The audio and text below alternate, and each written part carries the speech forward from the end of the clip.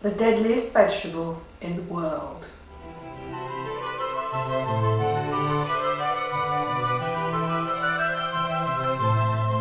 Pizza, pasta, pepper, pain. The red pepper looks innocent.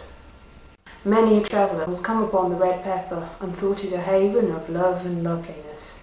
It is in fact a deadly weapon.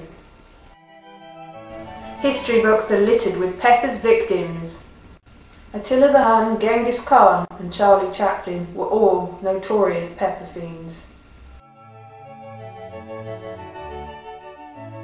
Of course pepper has its lighter side as well. Many fortune tellers use peppers as a means to divine the future. Almost all toothpastes contain extract of pepper. Fear the pepper. Fear the pepper. Fear the pepper.